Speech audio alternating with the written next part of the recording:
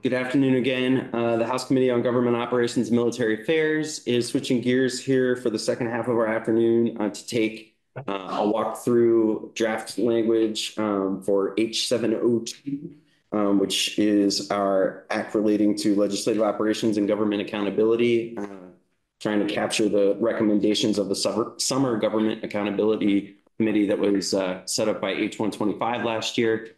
And uh, a number of folks have been doing work trying to put a draft together, and we have a few folks here to testify. And so I'm going to um, first turn it over to Legislative Counsel to walk us through this new language, and then we'll hear from some of our guests on it. Thank you very much for having me, Chair McCarthy. For the record, my name is Tim Devlin, Legislative Counsel. Um, can everybody hear me okay? We can now.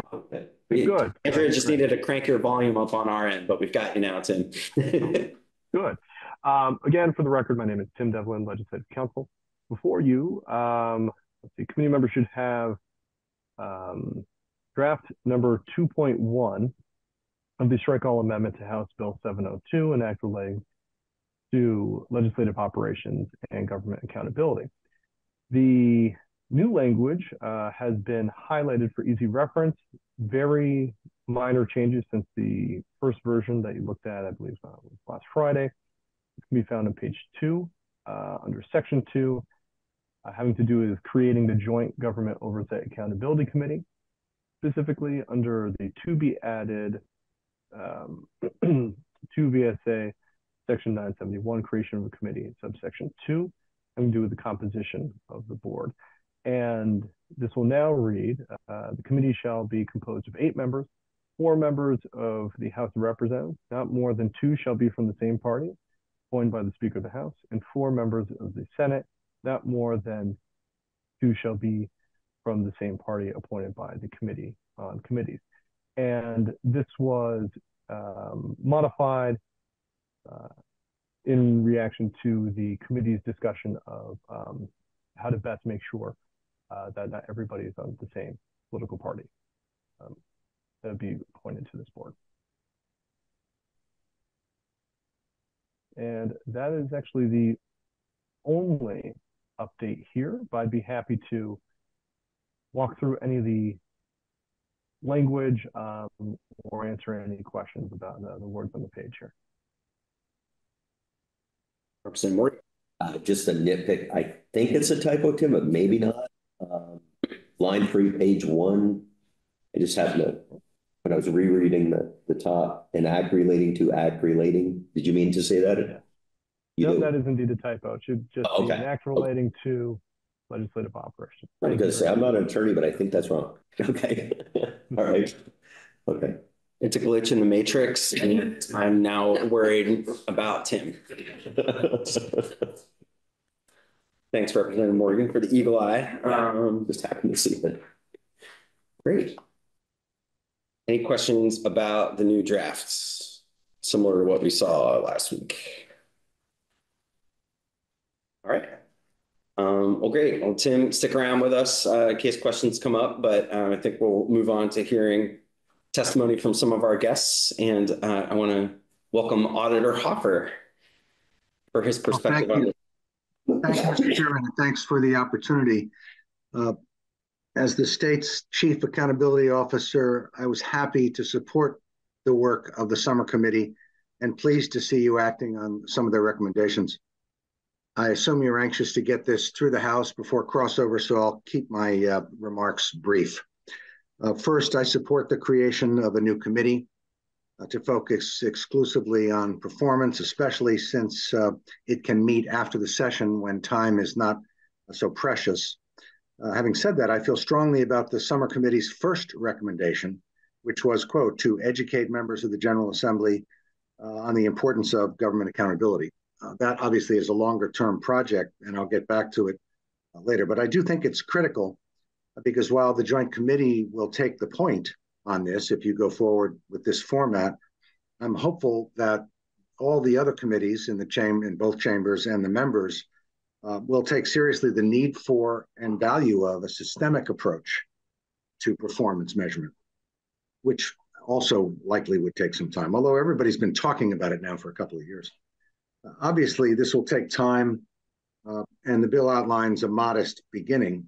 Uh, one clear thing one staff person at JFO dedicated to this is great, but they can only do so much. Uh, in my view, going forward, not something that you or, or JFO is prepared for now, but I'd, I'd love to see the entire staff trained in some level of performance uh, measurement, not quite GAGAS standards like my office, but so that all of them are capable and have that extra tool available for their regular routine work so that everybody can contribute and not just the one individual. Uh, but that's a subject for down the road, I, I presume. For now, uh, some thought should be given, although probably not in bill language, but uh, as a conversation amongst you and your colleagues and Catherine at JFO and others, what standard of, of review the JFO staffer and others may apply. Obviously, my professional staffers use GAGAS, generally accepted government auditing standards, which comes from GAO, the so-called Yellow Book. And there's no way one person could do that, literally one person. Uh, it's very tedious, it's rigorous, uh, and I don't think that's required because we do that. And I'm not sure that's what you're expecting or the committee would be expecting, but there should be some conversation uh, at some point about how that will play out. And my office, we have some really crackerjack people are happy to help JFO if they ask. Uh, as for the committee's first recommendation, uh, I think I can offer something as we move forward. As you know, periodically, uh, when we release GAGAS audits, we typically inform the committees of jurisdiction and in many cases, they invite us in to talk about the primary or major findings and recommendations, and that's as it should be. I'd be happy to add another layer to that process, and uh, upon request, uh, or by invitation, I should say, we can add a layer and inform the members of both the new committee and the committees of jurisdiction about how we did the work, which we typically don't talk about. And I don't mean to bore people, and it wouldn't have to be that way, but my audit managers are really very good. And it might help your colleagues uh, just as a routine thing every now and then. We only do five or six GAGAS audits a year, so it wouldn't be terribly burdensome, but I'm happy to offer that going forward. Uh, and finally, it's kind of interesting. Uh, uh it's been almost 30 years, but I did some contract work for then State Auditor Ed Flanagan back in the late 90s. And at that time, state auditors we're limited pretty much to financial and compliance auditing, all very important stuff. But the Governmental Accounting Standards Board, GASB, had this crazy idea in the mid 90s and said, you know, we really should do more than that. It's important to track the money and compliance with statutes and rules, but that's the beginning of a much more important conversation about whether the money is being well spent and is effectively achieving the goals that you guys hope for when you pass these uh, bills and create programs and so forth. And that was a new thing. A lot of state auditors didn't jump at the, at the opportunity, but Ed Flanagan understood its value uh, to his credit, and he asked me to dive in, and I did a little work, and it's been almost 30 years. And that was a really important seminal moment for Vermont. Uh, Ed's successors, all of whom you probably know or may have forgot, but they all carried the ball forward from that point. And here we are. And I'm so pleased that now you guys, after some starts and stops over the last few years, are ready to institutionalize this for the legislature, which I think is overdue. And I'm very pleased that you're doing it. So thank you. And thank the summer committee for sure. And that's about it. Um, Auditor Hoffer, any specific uh, recommendations or things that that we missed in this draft? And you don't have to answer that now, but if you, given that the clock is running out on us over here, if you do have recommendations about things we might include uh, before we're out, I know you were able to weigh in and really appreciate your help with the Summer Government Accountability Committee. But um, if there's anything specific you'd like us to clarify or um, see as improvements to the bill, definitely let us know. Thank you. Happy to. I'll get back to you. Thanks so much for being with us today. Thank you. And, and by the way, uh, with respect to the folks who are going to follow me, I have a couple of time sensitive things to do, so I can't stick around. Uh, I know that the gentleman from New Mexico is going to be a great guest, and I gather the summer committee made good use of his uh, knowledge and expertise. So I look forward to seeing the video later on. Great. Thanks so much. Thank you. Take care.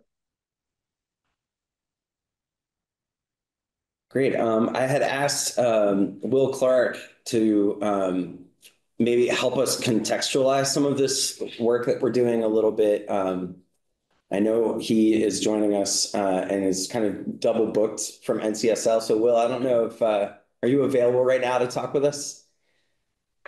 Hey, good afternoon. Yes, I am, uh, Chair McCarthy. Uh, uh, for the record, Will Clark, and yes, I'm on a state visit right now. So, um, yeah, but it was uh, the timing worked out really great. So I'm happy to be here today. Um, let me see if I can present my screen. We actually typically, so we can see you, we've got your deck on our committee page and we all have devices we can use to follow it. So if you want to walk us through it, um, we'll, we'll just look at you on our big screen and you don't have to do a screen share. We've got Perfect. your uh, slide deck. Excellent. Okay, great. Uh, well, again, for the record, Will Clark, I'm a program principal with the National Conference of State Legislatures. I work for the Center of Legislative Strengthening, which is a section of NCSL that's focused on helping legislative institutions and so one of my topic areas is legislative oversight. So that fits really well with the work that you all are doing on this bill and then with the Summer Government Accountability Committee. And today I'm just going to go over just a, you know, kind of a high level review of some of the most common tools that legislatures have at their disposal for conducting oversight. You'll see in these slides, the first slide, just again, uh, legislative oversight tools um, at a high level. Um, are focused on the relationship between the legislature and typically the executive branch, though also um, with some concern to the judicial branch. And at the end of the day, these tools are helping you as members determine whether or not the statutes that you've passed and the various policies uh, that you've implemented are following legislative intent, that they're effective in achieving the statutory goals, that they enable good stewardship of taxpayer dollars, and then to determine whether or not they're in need of any kind of modification. So again, a lot of a lot of these tools are providing you with metrics in order to help you ensure that the legislative intent is being enacted. Um, we've got five major tools that I'll be talking about today, uh, very briefly, and, and there are uh, clearly more that you could use, but um, um, they're some of the most common and kind of some of the, the better differentiations between the different types of tools, though sometimes they bleed together. Uh, the first the first major tool is the one you'll probably be the most familiar with, the one you spend the most of your time on, and that is legislative committees. Uh, some of the most important oversight work happens in these. This is where you're able to uh, take testimony, you're able to hear from agencies about particular bills, and also to to vote the most directly on pieces of legislation that are either directly related to a specific policy focus committee or on a fiscal committee. Um, and then as you saw with the summer, summer government accountability committee, they can also be focused um, in special and interim committees to look at particular topics and to focus on particular areas. And so there are certain states like Colorado and others that uh, really take that opportunity to have an interim committee to look at a specific issue and in so doing are conducting some oversight. Studies and analysis, again, a very common approach. Um, I'd say the main thing that differentiates these uh, different types of tools are who uh, requests them and how. So um, if you have a, a research division, uh, many legislatures do, they conduct research over the summer, of the interim, or possibly during session. Um, that can be a request, simple request from a policy committee or from a, a speaker or Senate president, um, or it can be something that they undertake themselves.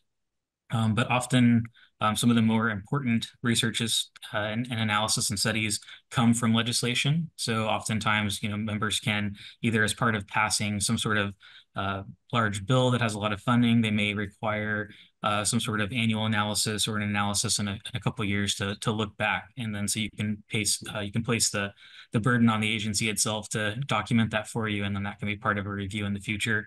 Um, and also you can, uh, of course, come up with statutes to look at existing programs as well uh, to get some of that information and have some examples on the studies and analysis page.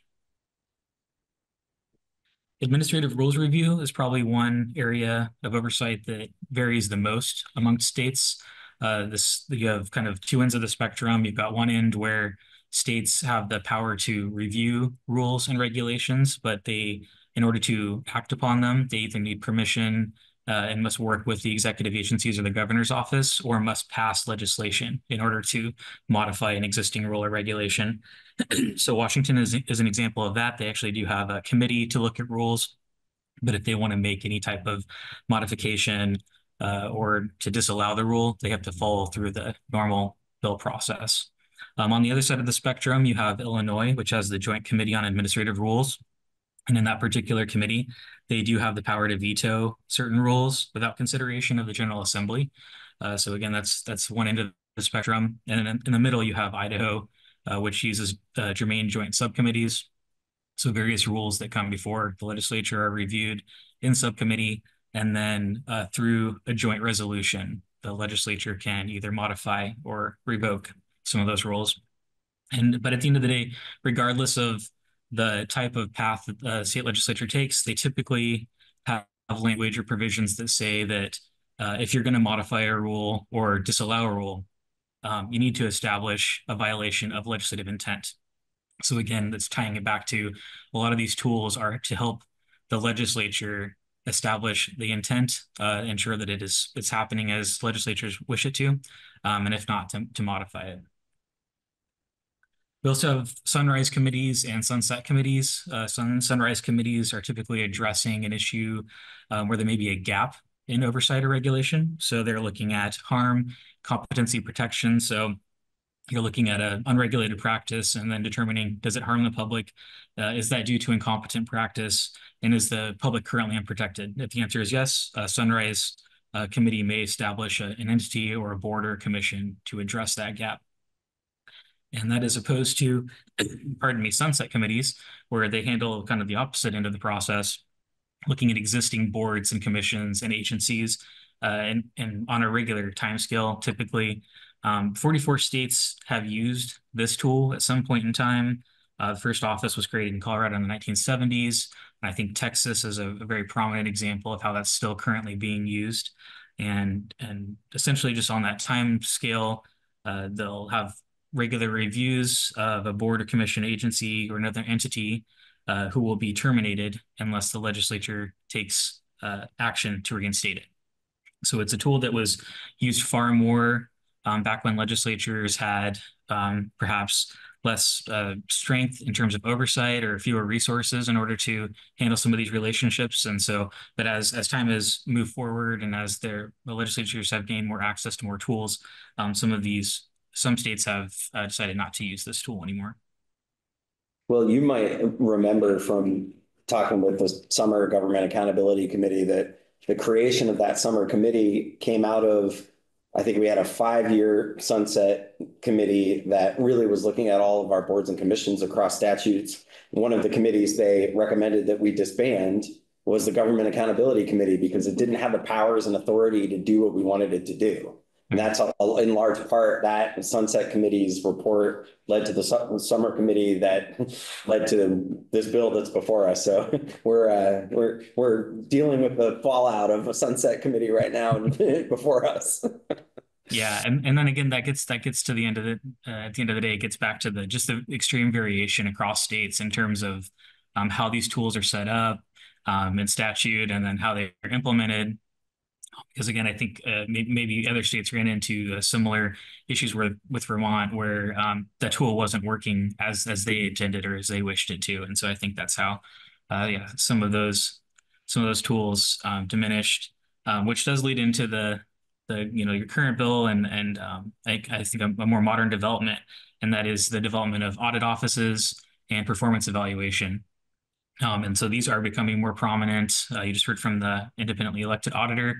Um, and, and so I think legislatures are more and more turning to these tools. Audits um, can take a lot of time, um, but they can be a very thorough and helpful tool uh, for legislatures and also just policy um, implementation in general. Uh, the most common audits, financial audits, I think we're all aware of those. You may know someone who's been audited or been part of an organization who has been audited. Those are typically looking at expenditures and revenue. Um, there are also compliance audits um, that can kind of bleed into internal audits. And then you have performance audits, which, um, uh, as as the auditor formally mentioned, um, typically follow GAGAs. They follow specific standards. They can be very time consuming. Um, there can be shorter audits, but oftentimes they're taking a deep dive into a particular policy area or a, a, an agency or some sort of practice and really getting down into the weeds um, and then and providing recommendations at the end. Um, so those tools can be uh, very effective for lawmakers, especially when the auditor reports those reports to a specific committee or to um, a, a committee of relevance. And so program and performance evaluation, they, they kind of go hand in hand. Um, sometimes, sometimes they are this one and the same, and sometimes they're different. Uh, performance evaluation, I think, is uh, a, a main differentiation is that they're not following those standards necessarily. Um, so maybe think of it more as a, a research and evaluation. But overall, they're they're getting kind of at the same goal, which is to review a program, review an agency um, at the behest of either the legislature or some other um, purpose, and then come up with a report about what's going on, and then developing recommendations that can be tracked. So most of these are attached to the Office of the State Auditor, or they're part of the legislature, or both. Um, there, are, uh, there are 34 states that have um, some form of legisl legislatively appointed auditor or audit office, and that may be a joint appointment process with the governor. Um, and then uh, there are some independently elected auditors, of course, and then some states have both. Um, and I'll talk about one of I'll talk about an example of that here in a minute. Um, but most report to a joint bipartisan legislative committee. That's a fairly common practice. And again, that's to help make ensure that the results of that audit go on the record. And then there are individuals either in a specialized committee or in a policy committee that receives those results and then potentially is in a position to implement those recommendations. And so one example um, that I'd like to highlight is just the, the Joint Legislative Audit and Review Committee in Washington. Uh, so they are a legislatively appointed auditor office. There's also an independently elected auditor in Washington who um, provides their report results to legislators um, in the Joint Legislative Audit Review Committee. Um, but the JLARC committee itself directs its own audit staff. Um, and they provide information to the public as well as to members. So this is just some screenshots of their website. Um, and you can see here they have a very extensive audit plan that goes out to at least 2030. Um, and then, so a lot of their audits are directed by legislation to look at specific issue areas. And then they can conduct annual reports as well that provide information for decision makers. And then on the second to last page, you'll find some resources, just some pages we have um, on additional legislative oversight tools. And that concludes my spoken remarks, and I'm, I'm happy to answer any questions you may have. Well, I really appreciate you like framing up sort of what what the different policy levers are, reminding us the context of what we're doing here and seeing what some other states are doing. Do folks on the, the committee have any questions for Will? I think that was a really, this is, I, am going to hang on to this deck forever. Thank you. That was really, uh, I made a note to do the same thing. yeah, totally. I love what Washington's doing. That hybrid model too is interesting. And I think, you know, if we adopt this bill, it's somewhat similar to what we're proposing here, where we have a state auditor, but we have the legislature and there's some overlap, but they're separate authorities. Um. Will, thank you for taking some time away from whichever state you're visiting right now. Absolutely, my pleasure, and uh, happy to help. And then uh, if you have any further questions, feel free to reach out. Thanks. Take care. Dr. Davis, would you like to join us at the table? Thanks for coming in person. It's nice to like not have everybody be on Zoom today. Thank you. it's great to have you with us.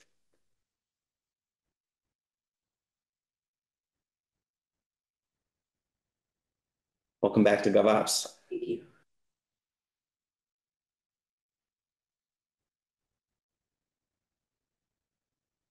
So I shared, uh, oh, for the record, Xusana Davis, Racial Equity Director for the state. Um, I shared a testimony document with the committee shortly ago, so I don't expect that you all have had time to look at it. Um, but I'll be drawing from that today in my remarks. This is actually joint testimony from me and from the Chief Performance Officer, Justin Kenny. So I will be doing some partial reading, um, particularly of the items pertaining to the Chief Performance Officer's uh, purview having to do with accountability and government um, performance management. Um, and then partial unreading, style a little bit for the portions that have to do with equity and inclusion. All right. So um, first, we just wanted to acknowledge the positive steps that the legislature is taking on this matter. Um, we are really, really glad to see this move toward institutionalizing accountability. It's often seen as the work of an individual or a particular office or entity or just some observant, loud member of the public. to point out flaws, shortcomings, waste, or other uh, bad things that government is doing. And of course, we know that that's not an effective way to monitor government's progress. So we're, we're very pleased to see this. Um, we think that it's a really positive step toward upholding public trust. And trust is key in governance. Um, and I think that creating a culture of accountability is extremely important because a lot of times we we see that word or that concept as if it needs to be something scary, combative, punitive, and externally generated, as opposed to something that we're doing with and for ourselves.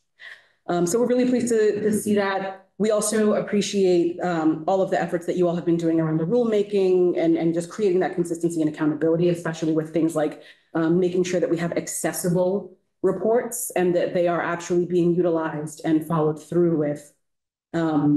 And we also think it's really important, this, this notion that you all have been grappling with about making sure that committee members and staff are regularly reviewing past legislation and past reports and just checking back in on stuff that we've done to make sure that it's working.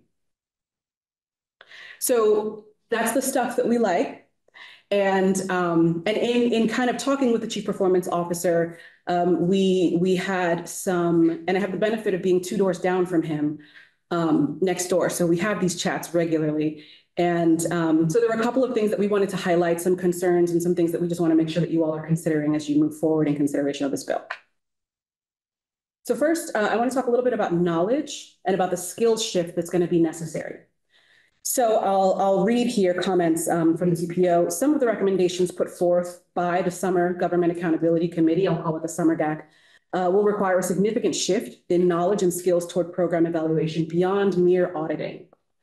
Uh, while audits are valuable for assessing compliance and identifying irregularities, program evaluation delves deeper into understanding the effectiveness and the impact of programs and government initiatives. It requires expertise in reviewing theories of action, theories of change, uh, assessing program results, and recommending improvements based on data and evidence-based practices.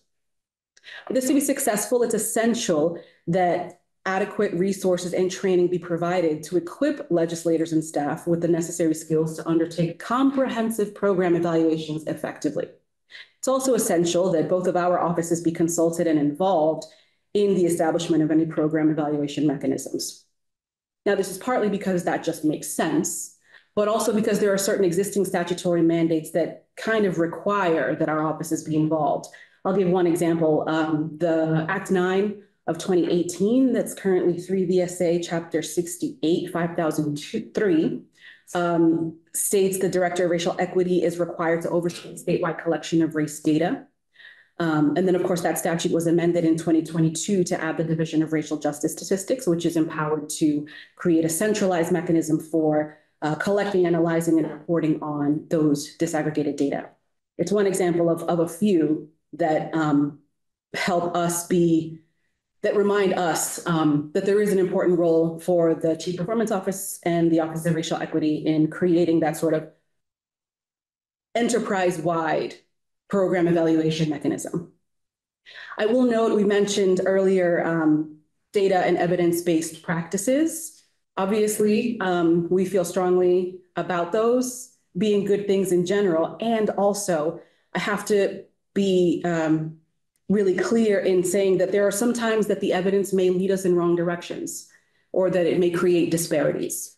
We have to remember that data collection systems and the sciences um, are only as uh, objective as the people who devise them.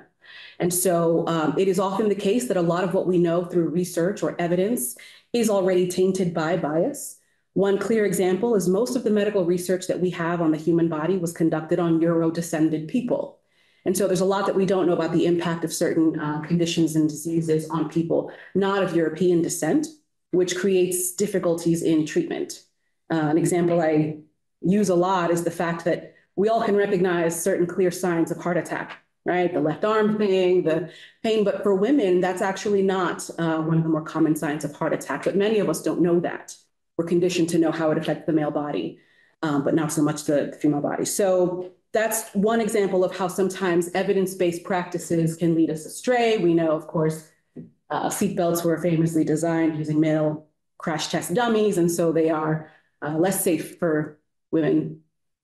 They, I think, fixed that. They got around to it. But um, yes, so knowledge and skill shift. Um, next, I want to talk a little bit about how any efforts at program evaluation really have to be grounded in a shared understanding of what equity actually means, right? When we're talking about the impact of the programs that we're implementing, we want them to work for all residents and visitors of Vermont. And that means we have to understand how our programs and how our work is going to impact different people differently.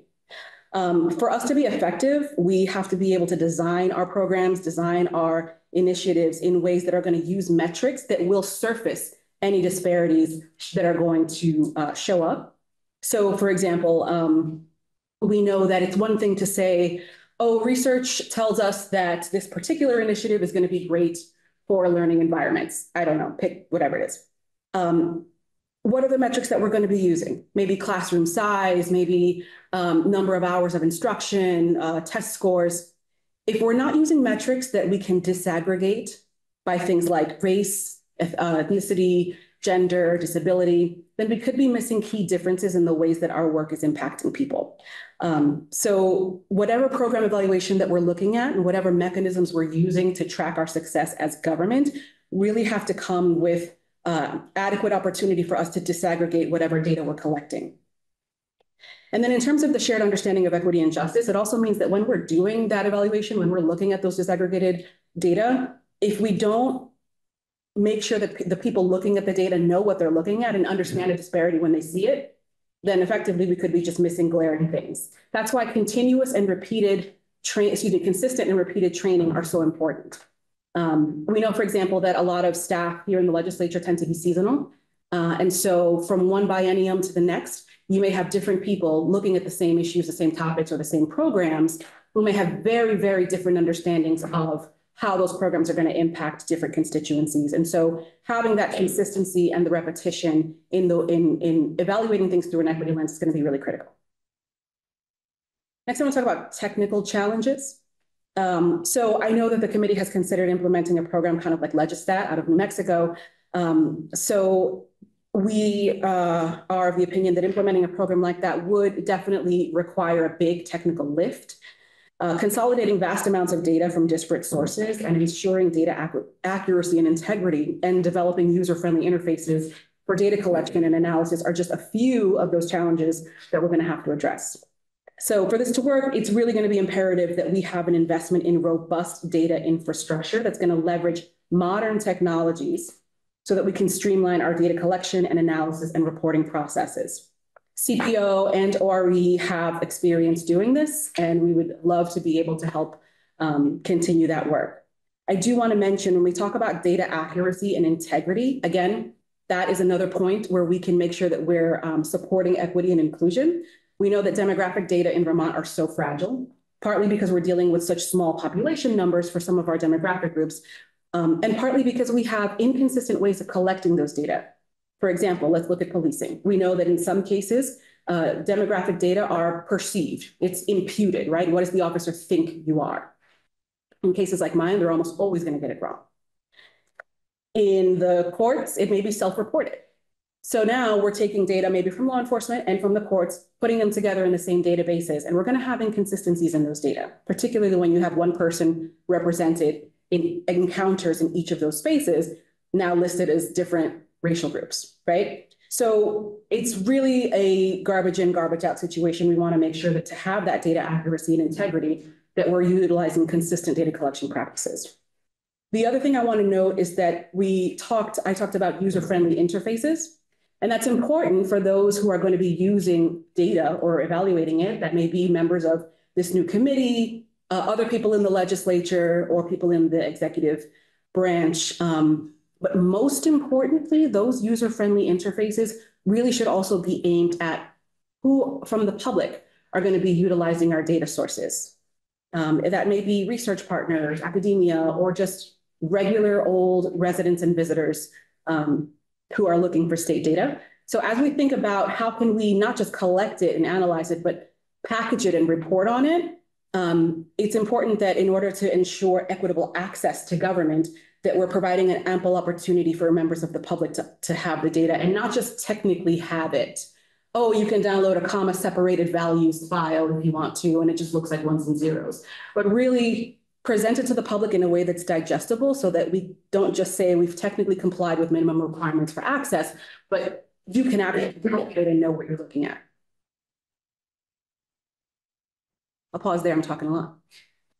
One of the things that um you're bringing to mind for me is is when we're thinking about data collection, the data we really need to make good decisions about lawmakers. that The people who are collecting the data need to have their user interface be easy as well. We talked a lot last year about, for instance, the requirements that we're going to have for law enforcement when they make a traffic stop to do data collection so that we can't have that disaggregated data about interactions between law enforcement and the public. And then we were hearing from different smaller law enforcement agencies that they just didn't have the technical capability to change the way that they do it and these kinds of things. And so, you know, we talked about a director of sheriff's operations and trying to provide them with the tools that they need to do that. Are those the kinds of things you would envision this new joint committee sort of holding all of our policy committees to new standards when we're looking at bills, when we're talking about where we get the data that we use to make decisions? Or do you see it kind of, how do you see it living in the system? Because I'm imagining us trying to create a new culture of how we do data collection, how we use data evidence-based practices. And in this bill, we're trying to arm this joint committee with things like subpoena power, you know, things that we haven't had before in order to be able to get at the information that we need. Like we're, we feel as legislators starved for the information that we need to make decisions. Mhm. And I'm wondering where you see that kind of residing and who's responsible for it.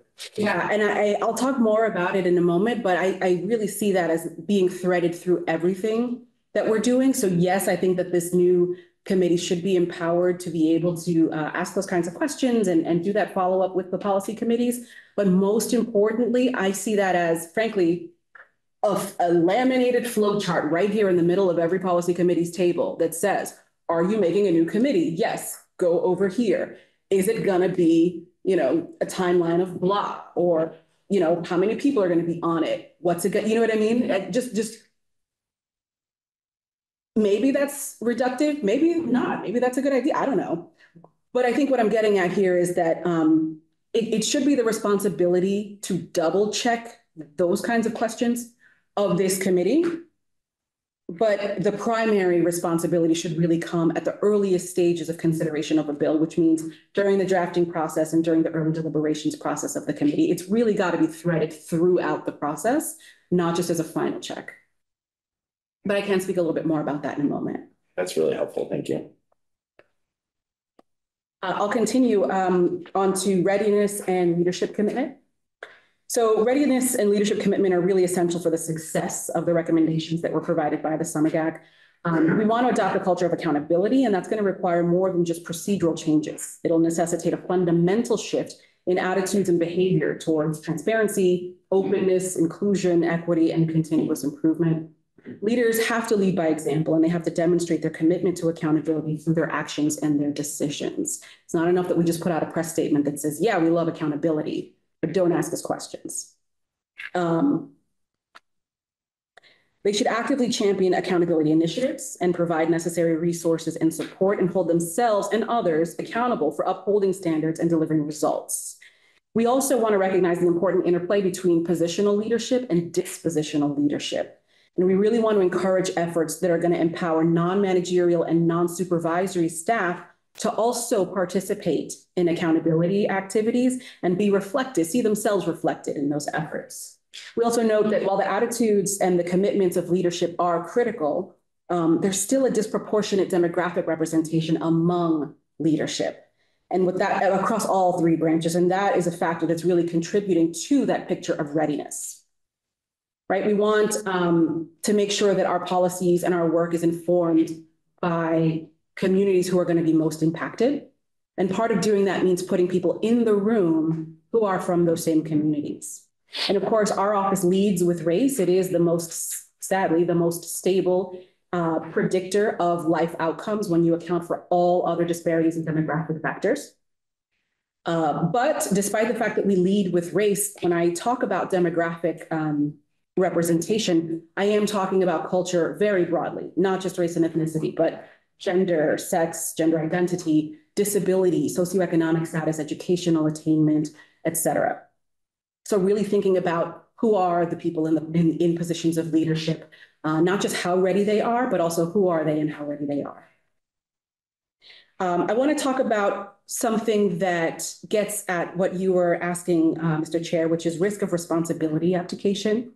Um, there's a risk that the creation of an accountability office or the hiring of dedicated staff to do program evaluation might end up leading to uh, an abdication of responsibility among individual legislators or other members of the other branches of government. Um, while establishing a dedicated oversight body can definitely help centralize our accountability efforts and ensure consistency in our evaluation practices, we really want to make sure that we're guarding against the perception that accountability or equitable governance are solely the responsibility of a special office or committee or person.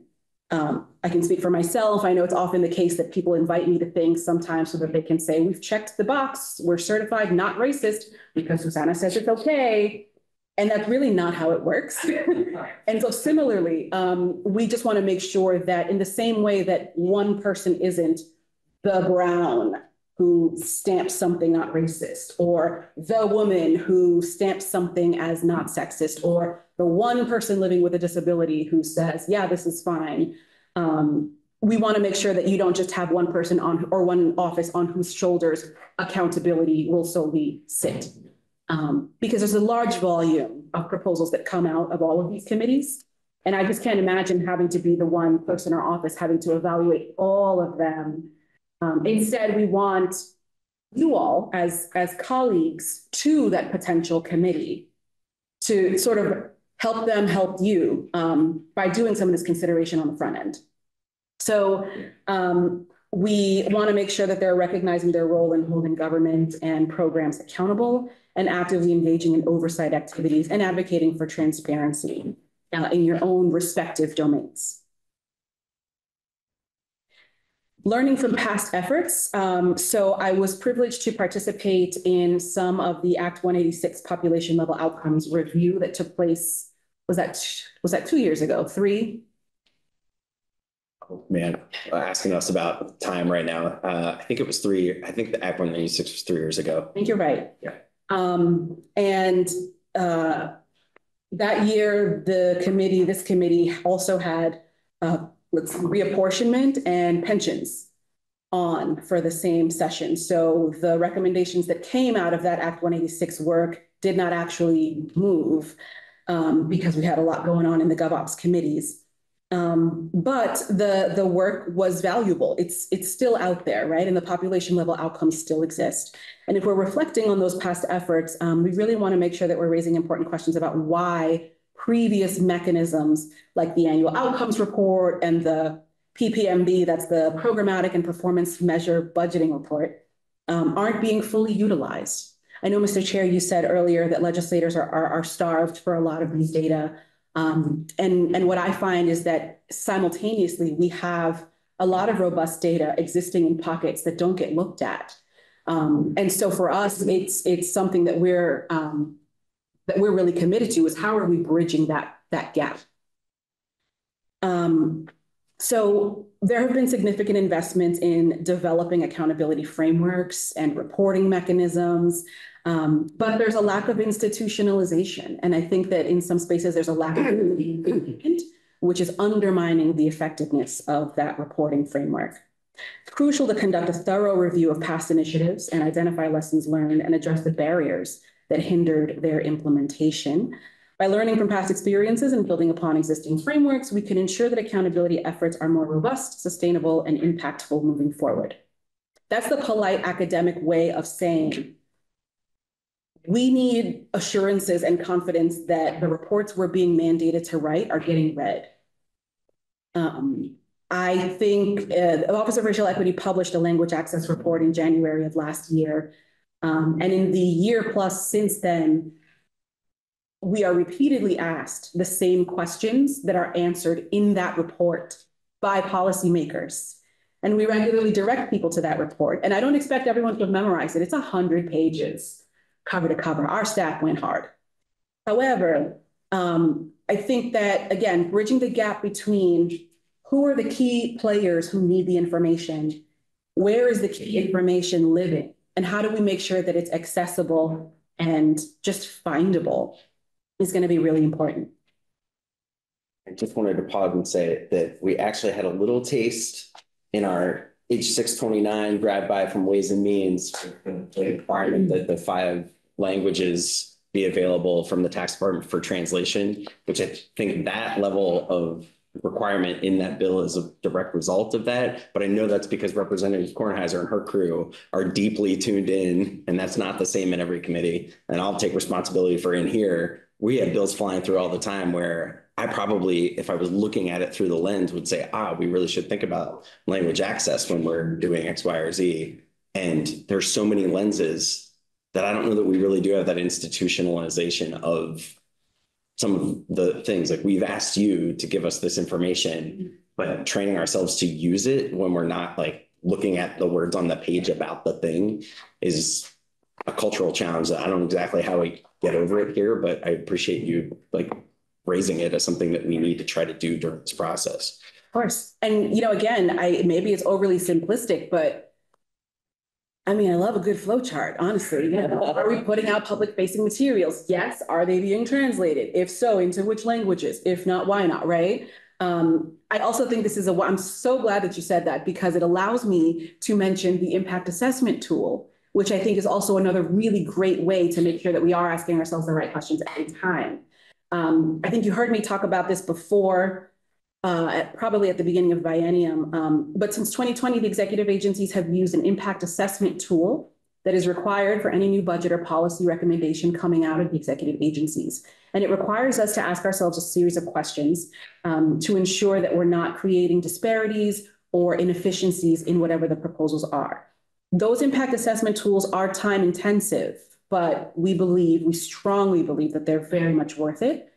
Um, they will ask questions like, Will this policy, um, if you're proposing a budget cut, is it going to proportionately harm any particular group in the state? Is this going to have a disparate regional impact? How is this going to incorporate um, cultural practices, including but not limited to spiritual or religious practices or anything um, related to particular demographic groups, et cetera?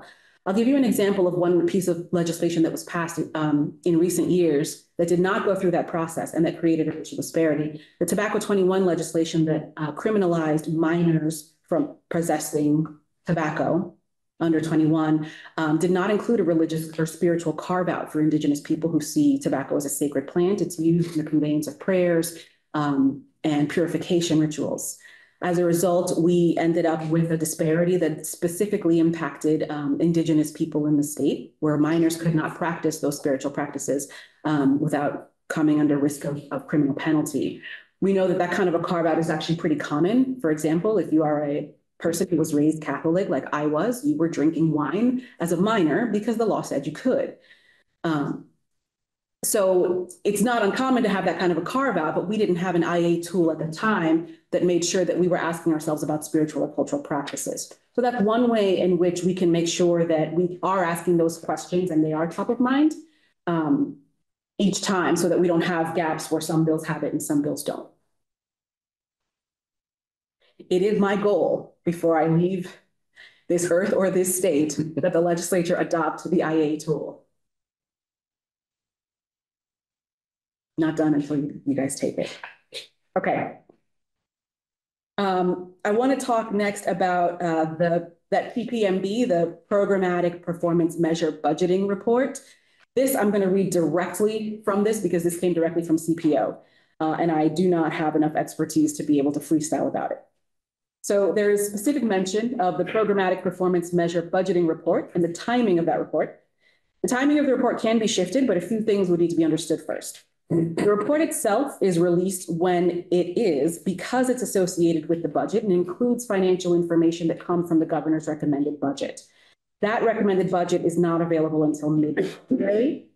So if we were to change the timing of the PPMB report, then it wouldn't include that information at the time of its release. Also, it might be helpful to know that only half of the measures are reported on a state fiscal year period. The rest are mostly calendar year, with some of them being federal fiscal year. So because of that, regardless of when the report is released, there's always going to be some data that's not as current as we might want it to be. Um, further, there's not an actual requirement for the Chief Performance Office to submit this report. Uh, the PPMB report actually came about as a response to 32 VSA Section 307. And that law required that as a part of the budget, there be a strategic plan for every state agency, department, office, or other entity or program that includes a statement of mission and goals that support the relevant population level outcomes and a description of the program performance measures that are used to demonstrate outputs and results. So technically, all of that gets submitted in the budget already. And so what the CPO produces is actually above and beyond that. So it should be noted that the current version of the PPMB report is, is not far off from the way that the line item performance measures work, uh, excuse me, the line item performance measures reporting work in jurisdictions like Utah. So we're not as far off as maybe we thought we were, but the way we utilize the data and the way and the timing of it being reported doesn't allow us to really process it in our legislative committees to the fullest extent. Yeah, and the way that I understand it is that regardless of when in the year we put the PPMB report, we're always going to have that lag just because of the, the different reporting cycles that all of the data are using. So it doesn't seem like any time is really the ideal time. Um, but that is uh, probably better for um, CPO Kenny to, to follow up on with you all than me, because that is the limit of my understanding of this. Understood. All right. Um, thanks for your patience. I am almost done. I just want to talk a little bit about support for program improvement.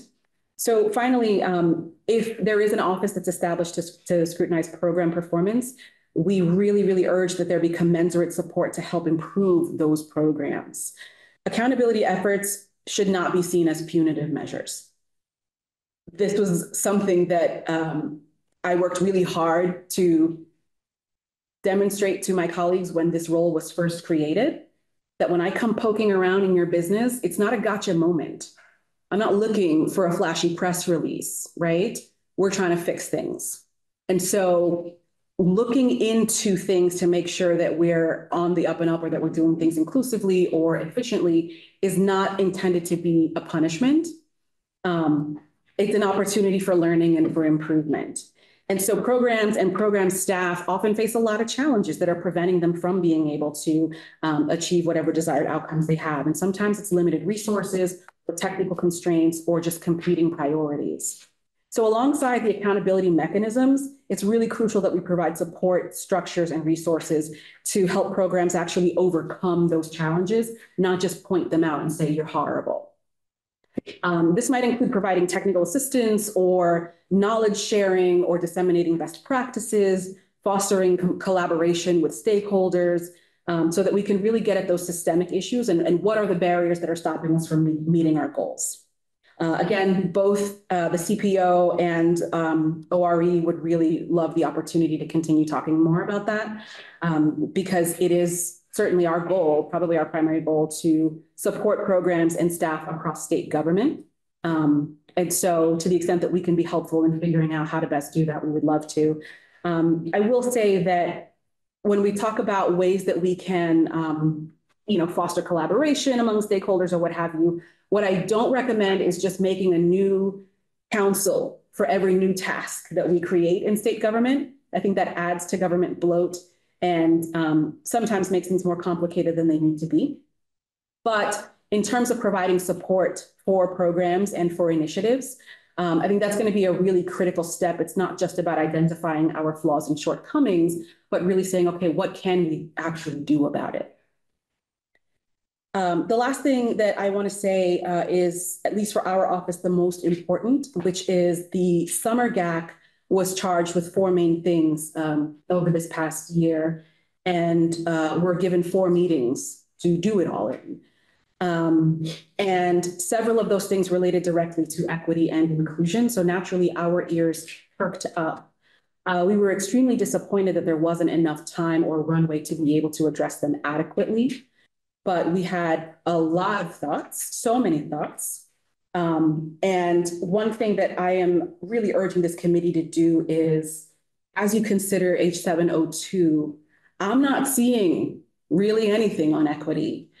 Um, and it really needs to be in there because accountability is really about more than just the numbers, right? It's about the people who those numbers uh, represent. And so, um, particularly one of uh, one of the things that Summer GAC was asked to look at was um, equitable inclusion and participation on the state's boards and commissions and uh, per diem rates for people who serve on the state's boards and commissions, et cetera.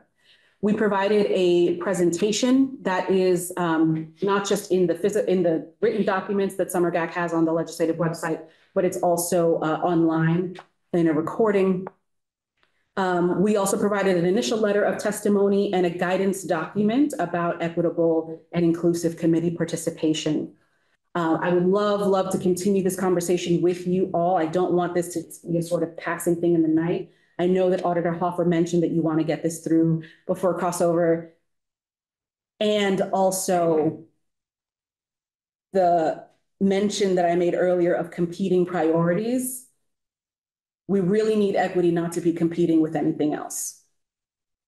Because we're often told, oh, we know this bill is unjust, but we'll fix it in January. We'll fix it next year. And so what that what that means when we say that is there's something more important than equity that is motivating us to act. And I, I have a hard time with that. So um, we have a lot of recommendations for how we can incorporate more um, equity, more justice, and more inclusion into our performance management and our program evaluation. And uh, I would be extremely happy to, to either sit down with the committee again or just to provide whatever materials would be helpful um, so that we can see how we can incorporate that. I will also say there is a very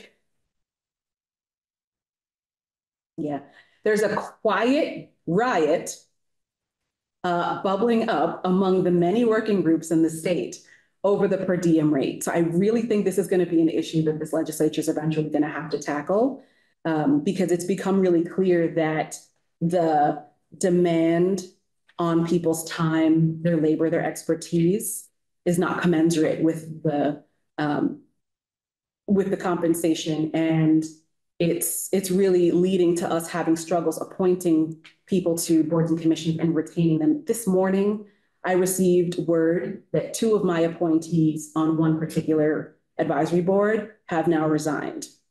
So now I have to find two new community members who are familiar with certain topics in certain areas of expertise, who are not already sitting on six other boards and commissions to appoint to this body. Um, and they're certainly not the only ones. So I do strongly recommend um, that this committee pick up that thread from where Summer GAC left off. And again, we can offer lots of um, guidance and, and suggestions. So that concludes my testimony, but I'm happy to take questions or other thoughts. So I wanted to start by saying I, when I first got back the draft from the Summer GAC, and it said, we're focusing on one, two, three, and four are for your GovOps committees. Good luck. And I looked at what we had before us in the first few weeks of the session.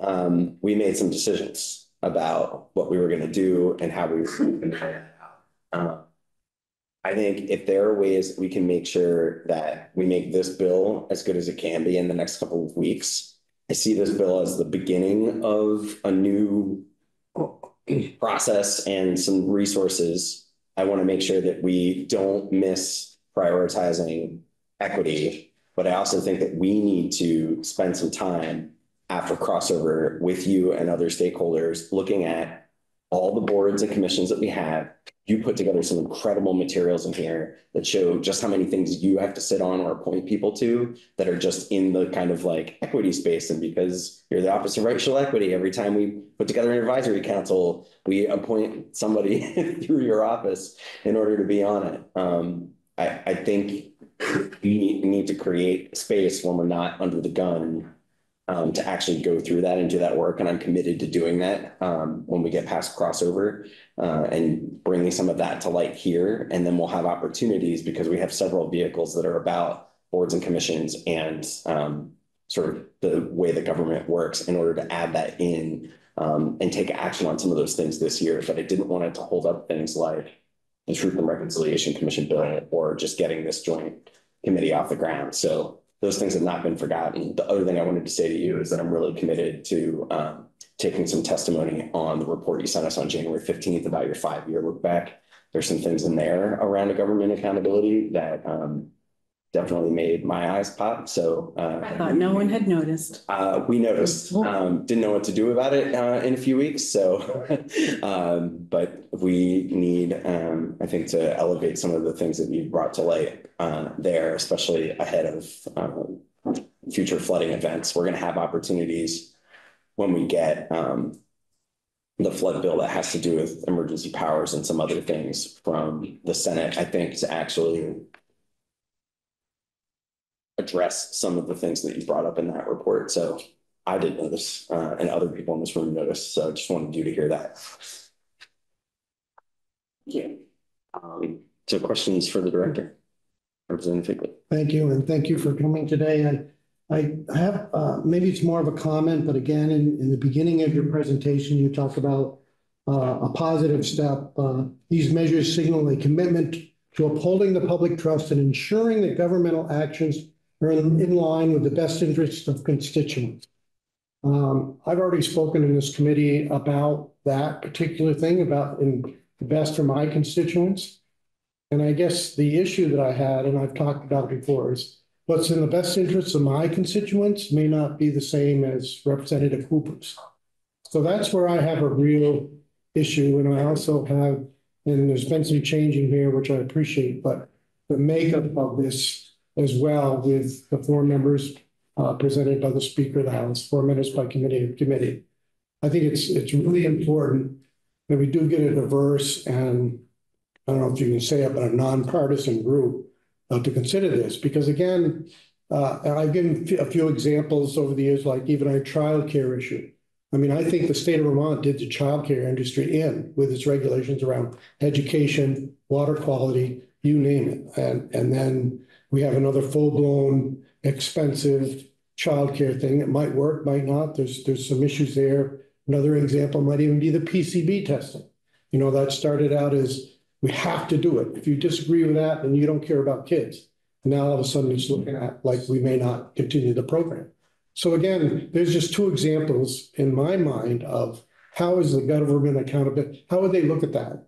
And what would they, what would they, what would we do different? Um, so uh, again, I, I understand the, the efforts here, but I, but I think it really, yeah, it, it depends on, on outcomes and, and those outcomes are subjective is get, I get what I'm saying. Yeah, thank you, Representative. You know, I, I think, um, I think that you're right. Different constituent groups and different regions around the state have different priorities for themselves. And sometimes, um, that can lead us to feel like folks over here need one thing and folks over here need another thing. And so we can't come to agreement or, or, or what have you. I completely agree with you that we want whatever committee comes out of this to be as reflective of, of everybody as possible. Uh, I agree with you that it should be nonpartisan, that it should be really diverse. And I mean that not just in terms of the demographic identities of its representatives, but also their interest areas, expertise, region, et cetera. A, a really important thing that I want to make sure that we know is that we're planning for and making decisions for not just the Vermont we have today, but the Vermont we expect to have in the future. And so I think sometimes we've got uh, a lot of policy that's built on what our communities have historically wanted or preferred or done.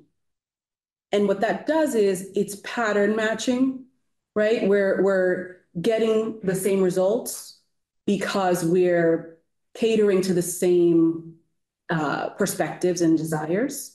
And as we're seeing a demographic shift that we hope is sustained and grown in our state, it's going to require us to do things sometimes a little bit differently than what people are accustomed to.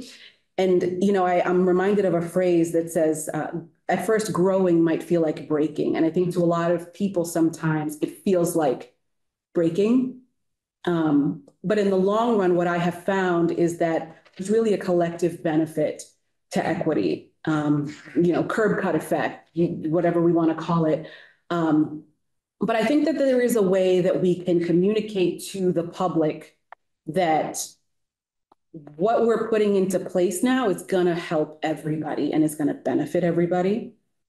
And I think that that's, that's gonna be key. But again, I do just want to affirm what you're saying about the importance of making sure that any new body we create is, is really gonna be taking into account all those perspectives. Okay. Right. Any other questions for the director? Representative Chase.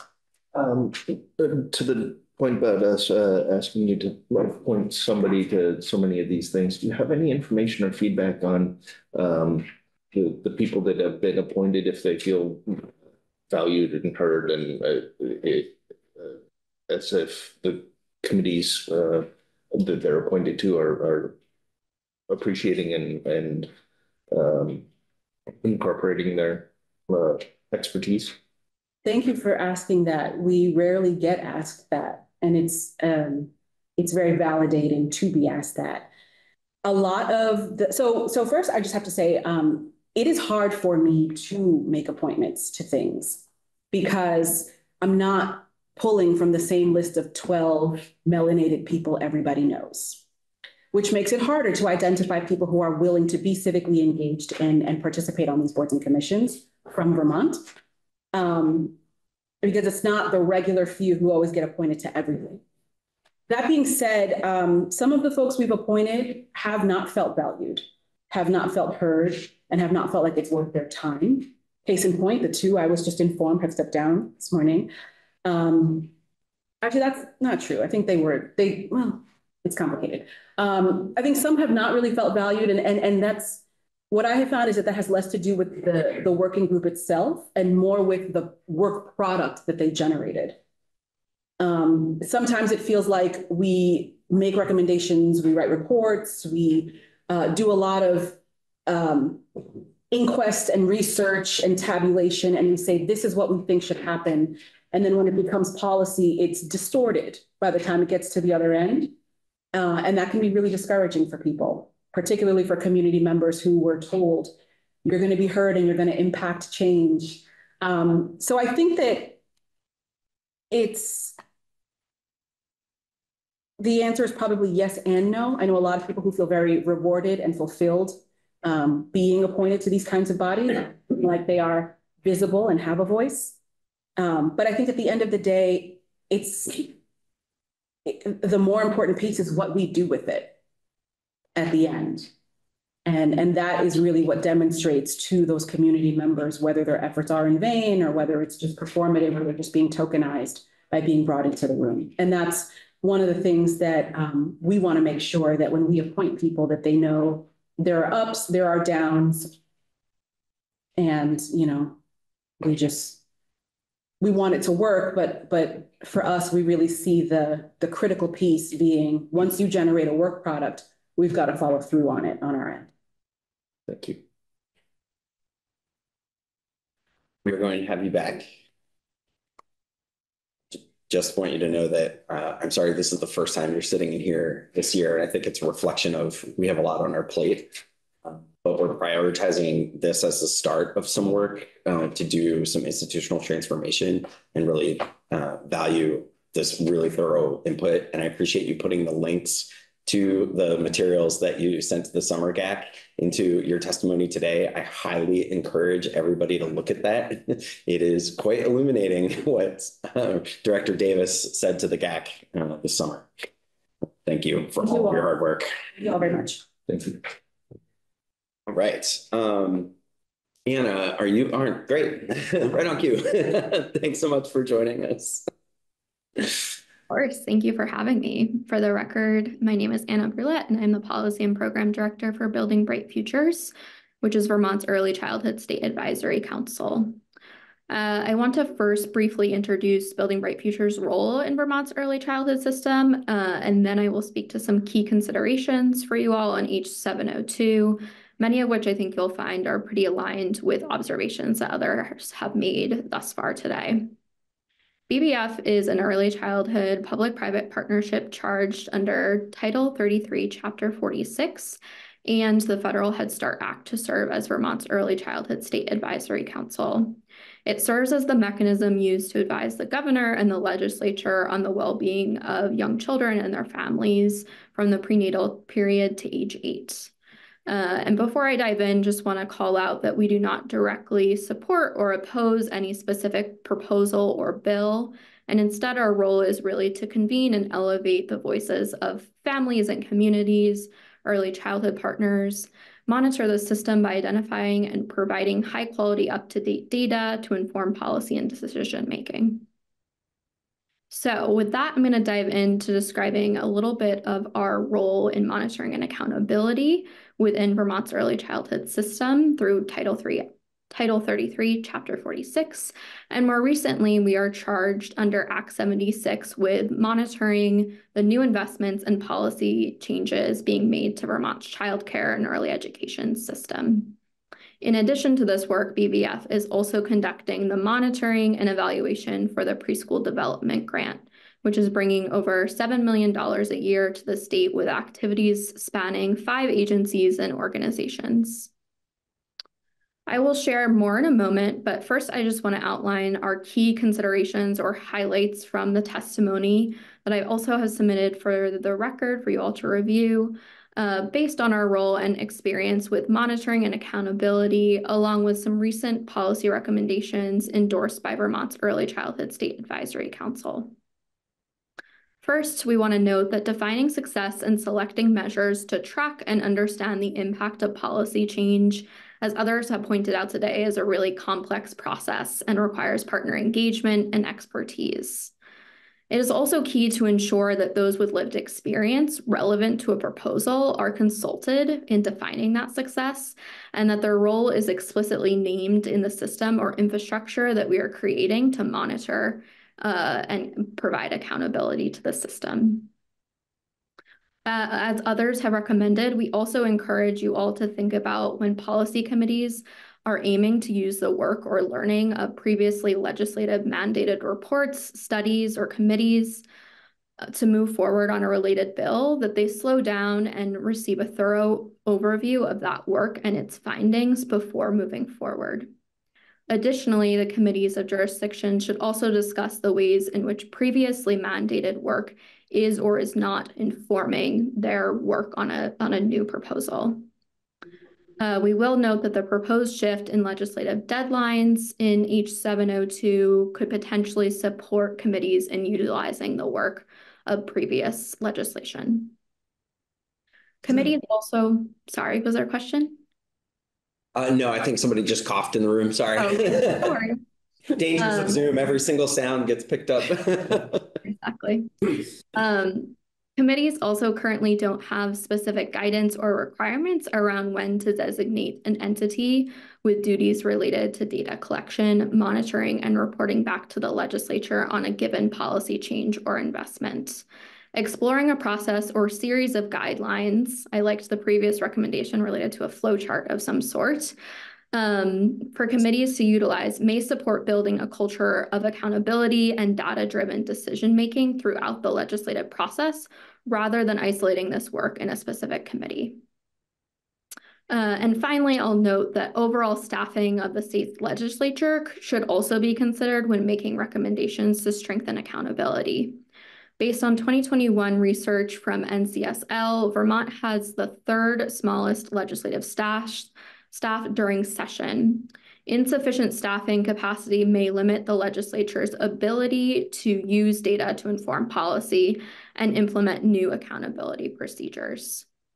With the remainder of my testimony, I'll share a bit more about BBF's role in monitoring Act 76 and elevate related policy recommendations on monitoring and accountability made by the BBF State Advisory Council that have informed these key considerations for you all. First, as we outlined in our annual report to the legislature on Act 76 monitoring, one key learning of our role has been that no singular indicator is sufficient to measure overall impact. Over the course of several months, we held focus groups and conducted surveys to ask partners what success for this law looked like and to name the top three things that we need to measure to understand its impact. Significant variation existed among partners based on their sector, lived experience, and the elements of the law that they anticipate to be the most successful. Even among legislators whose expertise had shaped the bill, every partner thought differently about how to understand the impact of the law's investments and policy changes. Additionally, some recent policy recommendations endorsed by the State Advisory Council related to government accountability and the importance of partnering with those with lived experience can also lend lessons to this conversation. Over the past several years, the SAC has elevated the importance of providing more structure through guidance or a protocol for legislative committees creating new bodies. This guidance should make explicit the ways in which those with relevant lived experience in our communities are including in included in decision-making processes. An additional recommendation that our SAC and partners continuously have elevated is the need to make critical investments in data and technological infrastructure.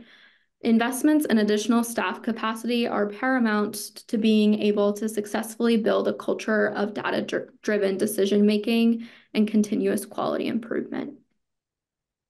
Next, I want to speak a little bit more to our uh, role in providing evaluation support for the preschool development grant. As I mentioned, this grant is bringing over $7 million a year to the state with activities spanning five agencies and organizations. I just want to note the, that this uh, effort has taken over a year as well as a full de a full-time dedicated staff member to define measures of success for this specific grant and to build begin to build systems and tools to monitor and evaluate activities and the overall project which is all to say that building a culture of accountability and data-driven work takes significant time and content area expertise uh, and that what the bill that you all are considering today is is attempting to do feels quite feels quite ambitious considering the amount of resources that it is being given. We are excited to see this committee and others considering how best to improve the legislature's government accountability systems and practices building a culture of accountability and data-driven decision-making has the potential to strengthen the work of the legislature and create more systems to ensure that individuals with lived experience are heard. Thank you for your time. I'm happy to take any questions. Any questions for Ms. Brouillette? Uh, really appreciate your detailed written testimony. I think we're getting to the, the end nearing of what's been a really long day and are starting to run out of gas a little bit. So I apologize for that. um, Representative Higley had brought up um, the child care bill as an example of like one of the big things that we've done. And I think of that as an example of one of the kinds of big initiatives that you know, this new uh, joint committee and the um, director position at JFO would look at and monitor. And I'm wondering from BBF's perspective, you know, did we build in sufficient look backs and accountability accountability provisions into the bill that we passed um, around um, you know setting up the new childcare system or you know, are there things that we should have done differently from an accountability perspective or just things that, um, you know, BBF has noticed that we should be tracking in terms of data that we're not?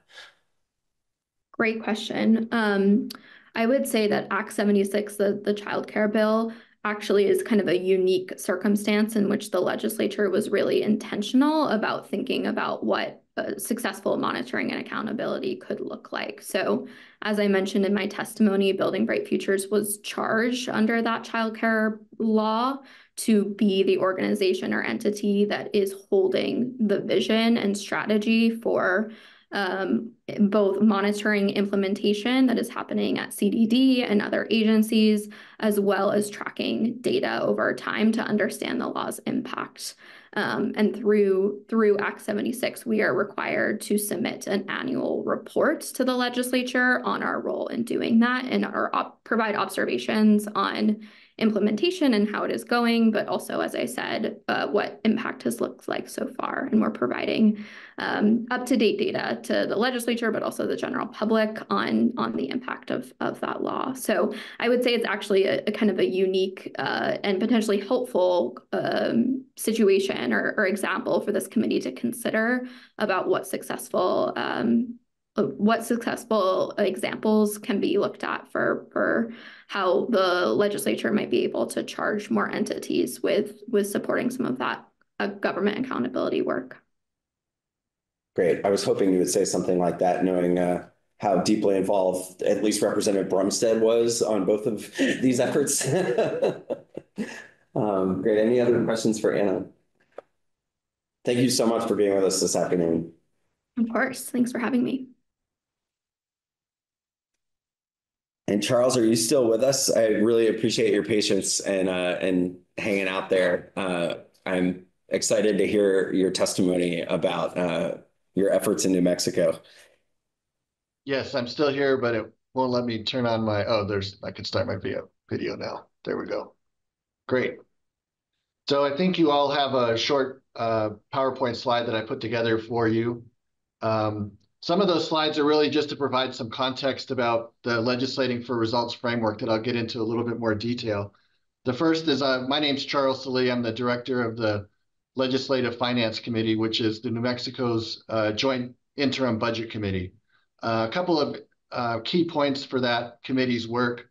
Uh, it basically has jurisdiction over all of uh, state and local government, higher education, and, and public schools. One of its main functions is to develop a budget recommendation separate from the governor's uh, for the full legislature to consider. Oftentimes, you hear people in New Mexico. We we just got out of a 30-day uh, uh, session, and in odd years we have a 60-day session. And oftentimes, the public is wondering how you put together a budget or legislation in that short amount of time. And my answer is we don't. We start in September uh, putting together the budget um, for the on behalf of the legislature. Um, and so that's really important for the, the committee to be able to, to start that work. A couple of key things. Uh, it does have subpoena power. It's never been used, but it's a, a key uh, piece that's an important um, component uh, for the committee because there is another statute that requires agencies to cooperate with the staff and provide any information uh, that the staff deem necessary to carry out the work of the committee. That's a really important uh, cooperation provision we feel in New Mexico. It does have a limitation that I don't advise other states to uh, emulate, and that is that it um, prohibits, well, it, it says that agencies don't have to give us information that's otherwise confidential by law. That has inhibited our work uh, throughout the years uh, when agencies throw up a roadblock. Um, we've been able to work with uh, this administration to to get workarounds, but uh, if if you're considering sort of the authority of, of your staff to be able to get information. Those are important things to consider. The next slide, uh, three, just as, a, as an overview, we've got about 41 people on staff. Uh, we have a team of economists that work on the revenue estimates. We do a consensus revenue uh, estimate with the executive branch. Uh, we have a team of fiscal analysts that work on the, the budget recommendation. We do use a performance-based budgeting uh, approach in New Mexico. So they are also charged with uh, working with agencies and developing quarterly report cards that I'll get into. Uh, at the end of the day, your appropriations committees are building a budget right now. And why? It's you hope to accomplish something. And the performance measures help tell you whether or not you're heading in the right direction and accomplishing what you wanted to accomplish. So the fiscal analysts work on uh, doing that work. And then we're somewhat unique in that we house um, our government accountability unit, our program evaluation uh, team, to be able to go and do the deep dive. The performance information that you will be getting if this bill passes and you move forward is good. It tells you if you're heading in the direction that you want. It doesn't tell you why or what to do about it.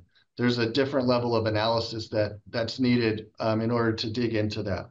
And just I wanted to note that the, the legislature this session and the feed bill greatly expanded our staff by another six uh, FTE. So we'll be expanding our work into more of the health and human services area, as well as uh, additional program evaluators.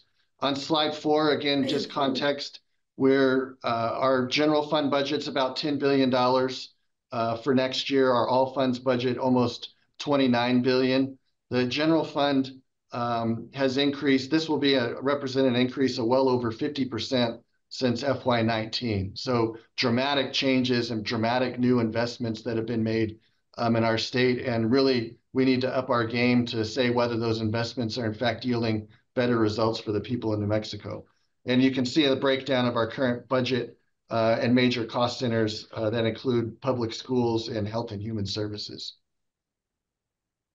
Uh, Mr. Chairman, slide five gives you a very simple, simple overview of what we call legislating for results framework.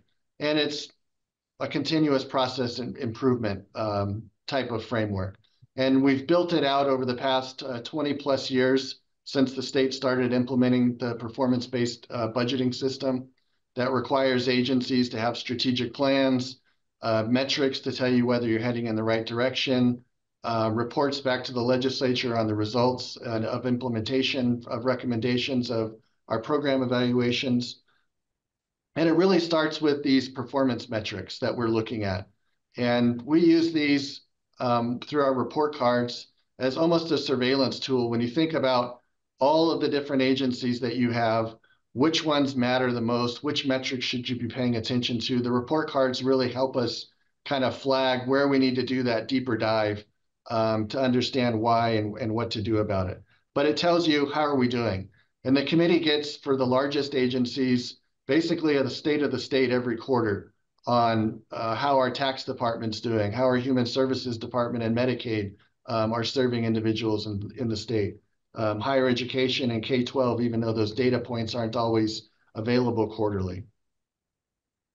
The next uh, phase is if we're not doing as well as we want, then what should we be doing different? And doing that deep dive to answer the the why and what to do about it. Uh, are we spending money the way on evidence-based interventions that are likely to yield good results? Are we uh, not appropriating enough to solve the problem? Um, the analyst will go in and do that analysis, and then sometimes we'll assign a deeper dive for the, the program evaluators to take three to five months to help answer some of those questions. How do we get more third graders to read at grade level. Uh, one investment would be uh, through our research, our pre-K program. And we developed performance metrics to monitor how that was working as we were continuing to expand that program. We also used the program evaluation to identify things that weren't leading to better educational outcomes. So we, we tell our members, if you're trying to impact uh, early literacy outcomes, the child care assistance program is not the, the investment that you'd want to make. You'd rather make that in, into pre-K. And then you build that information into the budget development process. How many slots for pre-K can we afford? How many can, teachers can we hire? How do we how do we do that over time? And then the budget gets passed, and that's shouldn't oftentimes that's where things tend to end. Uh, we've passed a bill, we passed a budget to solve a problem, but really uh, we advise our members that that's the just the first step. Uh, the next is really monitoring the implementation and the use of those investments um, that you've made to see whether or not it's paid off. Um, are the kids that participate in our pre-K program getting the kind of outcomes that we want? And our answer has been consistently yes over the last 10 years, and that's informed further investments in that to uh, the point that we've got a universal uh, four-year-old pre-K program, and we're heading towards about 50% enrollment um, for our three-year-olds. So that's the continuous um, process and the framework and how staff help uh, do analysis to advise the committee on the types of investments um, that it should consider. Slide six just gives you an, an idea of all the different tools that uh, we try to deploy. We've got a pretty sophisticated cost benefit analysis um, system where we can take the best research about what works, apply New Mexico specific performance and cost data, and project out for the committee what the return on investment would be making for, say, a, a substance abuse treatment program in our prisons, what kind of impact we would expect it to have on um, uh, recidivism rates and the like. All of these are in addition to your traditional budget development tools, uh, looking at uh, vacancies of staff, uh, incremental cost um, for the budget. Page seven just gives you a snapshot of what um, our quarterly report cards look like. Again, we only use these for the largest agencies. All agencies, including us, uh, report annually on um, our performance metrics. We have those. We've got a strategic plan. Um, but for those biggest ones, we want to know what's going on with our Child Protective Services um, program. Is it operating at the level we need? Is the media uh, attention that it's getting focused on isolated cases, or do we have systemic problems? this tool really helps start, start the line of questioning. It doesn't necessarily answer all of them, but it really helps. A new tool that we've been implementing um, over the past two years on slide eight is what we call LegisStat. And if you've heard of STAT, it's really a performance management system, often directed uh, in the private sector, but also adapted in the public sector, usually by governors, mayors, um, or agency heads. And that's really looking at the data on a regular basis and, and trying to manage around that. And we've tried to adapt this um, to a legislative um, environment where we're taking a subset of all of those performance metrics that we're getting and saying, what are the three key performance challenges that we've identified um, and maybe collectively with the agency um, that we want to focus on over the next year or two um, and have legislative oversight consistently come back to those performance challenges and understand from the agency what's different. Uh, so you'll hear the committee members ask, when we leave this hearing, what are you going to, what are your action steps? What are you going to do? What's going to be different when you come back? Um, and when we start the next meeting, what have you done? What did you accomplish? So strong accountability. Um, the other key component of this uh, new tool, because we've always had hearings on agency report cards and performance, is it flips the script where the agency only gets about five minutes. The fiscal analyst from our staff will go through um, the actions that the agency's been taking, any changes in performance that we've been seeing. And then we open up the hearing for members to have a more of a collaborative deep dive discussion um, with agencies rather than being talked at um, for you know an hour and a half or two hours. Because the committee, you know, is the board of directors and not the CEO, it's a the dynamics have to be a little bit more collaborative as opposed to what a governor could do in terms of accountability. So that's something that we've been working through um, with the committee. It does take some extra work in between meetings and prep work on the part of the committee. It's hard to sit down um, you know, and get a three-page document and be able to uh, really uh, get into the meat of it. Um, but so far, it's been working um, fairly well. We've already exited our tourism department because they were doing so good um, at uh, improving their performance challenges. Um, the committee wanted to focus on, you know, close to 60% of our budget, which is the hardest part to do um, for this because our higher education and K-12 system is such a decentralized governance system with not very good interim metrics, but how do you ignore 60% of the budget if you're going to embark on this kind of um, activity? It has been good uh, from the standpoint that I've talked to agency heads who have made it very clear that they do not want to go back in front of the LFC without having taken measurable actions and being able to demonstrate improvement um, before the next time they're before the committee. And those were even collaborative meetings, but they they really want to work on those those topics that we've collectively identified to to make improvement. So very action oriented. With that, Mr. Chairman, I know you've had a long day, and, and I'd be happy to stand for um, any questions. One of the things that came to mind was I'm wondering how your committee, when they looked at some of those decentralized questions that are big numbers, you know, we're having enormous policy conversations as well here in Vermont about education finance and our very decentralized decision-making system around the local control of school boards. Yeah. And I'm wondering how how did they sort of bite into that? Did they focus on you know certain funding streams? Like how do you, what how did they even sort of start to uh, look at accountability and and what measures that they wanted to put in place in order to understand what the performance was of the system would be? Sure we we've got a pretty sophisticated and and um, far-reaching um, performance measurement system for K-12. The problem is that most of it is snapshot data at the end of the year.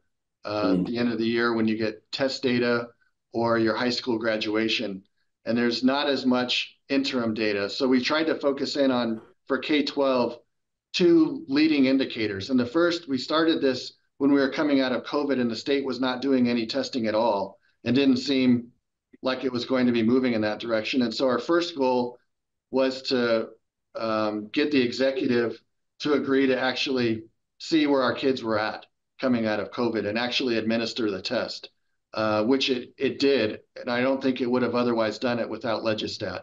The second was to shine a light on um, attendance gaps that we were noticing. Um, you know, we've done a lot of research that uh, it's pretty obvious if you're not at school, you're not learning, and you're probably not going to be performing as well. And the the rate of kids not attending school um, has really increased quite a bit, and so there's been a lot of focus on on doing deeper dives on on attendance as an interim metric.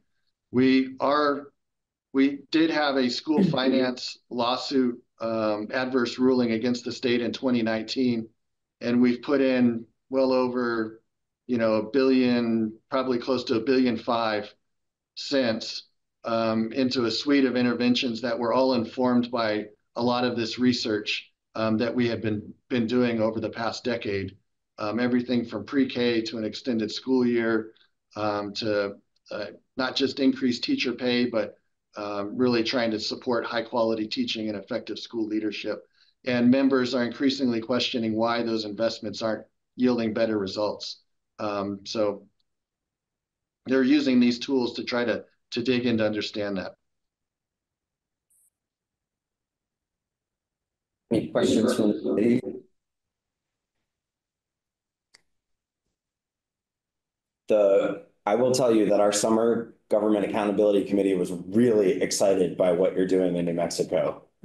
Um, they looked at these, you know, sort of your LegisStat reports are almost like a heads up display of what's going on, what performance measures have we identified, how are the agencies doing.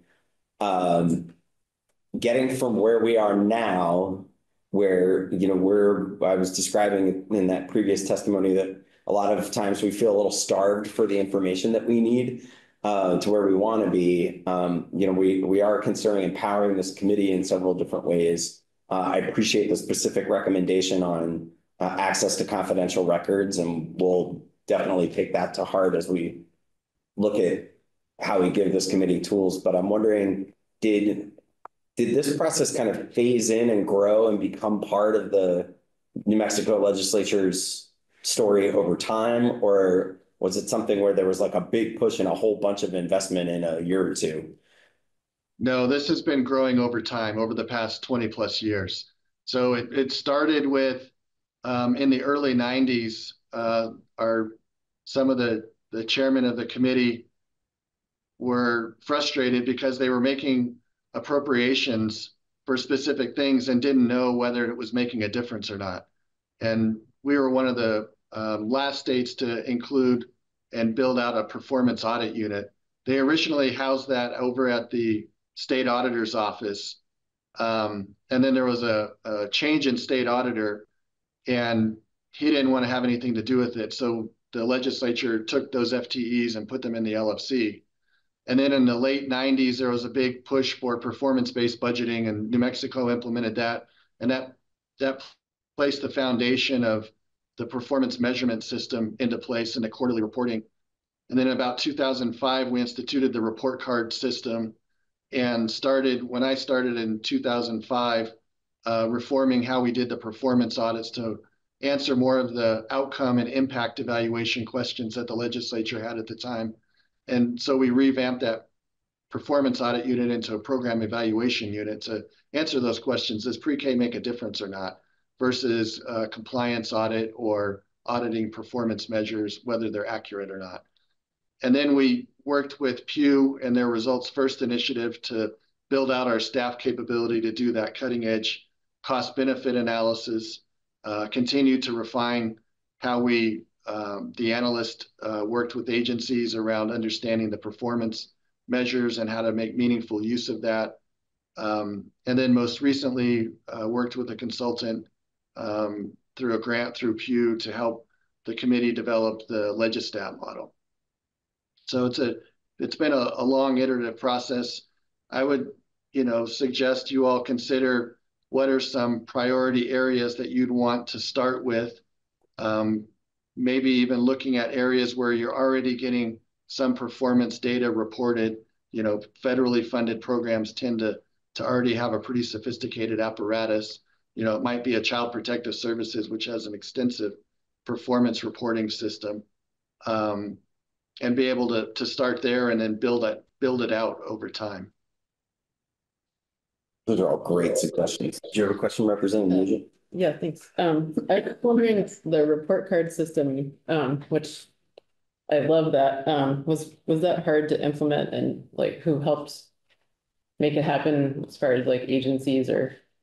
Right. So all of the agencies, I mean, many of the report cards are actually written into the budget or the, the performance measures are written into the budget and the legislature sets the performance target. Um, other measures are agreed upon between the governor's budget shop and our office that we should be measuring them in collaboration with the, the agencies.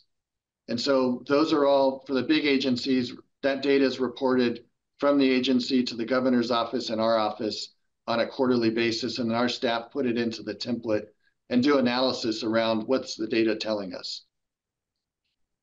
The LegisStat kind of format on a smaller subset of key metrics might be a good way to, to start as well. Um, I, you could talk to our members and when we do our state of the state quarterly report, sometimes I feel like it may be too much of a data dump on volunteer board, on volunteer legislators. But they've got that information in every budget hearing. They've got that information and anytime an agency's up, they're going to have their report card. And some of them are latching on to asking key questions of agencies every time they're before the committee. Even in other committees, we go and present those report cards. Thanks. That's a, a way to link, Mr. Chairman, some of the work that um, the staff that you you are considering funding to your policy and standing committees is to be able to report out if you're uh, if you've got a, a performance report how your corrections department's doing on recidivism, you know, to your courts and criminal justice or whatever the name of it is uh, during the interim. And it, we've we found that that force multiplication helps better unify the legislature to understand how the executive branch is really operating. Oh, that sounds like a dream compared to where we're at right now. Uh, but I think we're a little less far along in our journey, uh, but uh, happy to stand on your shoulders out there in New Mexico. and Mr. Um, Chairman, we're happy to provide any resources and assistance if this comes to fruition, or even if not, if you continue to, to work on this, we're happy to be of assistance to, to your legislative staff to um, help them learn more about how we've developed this, these, these uh, tools. Great. Um, any other questions for Charles from the committee?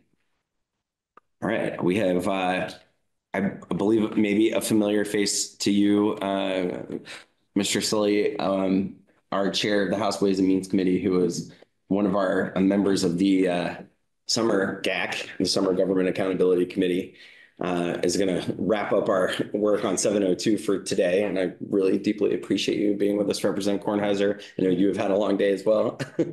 I have, but I got to eat some potato chips on my way here, and that really perked me up.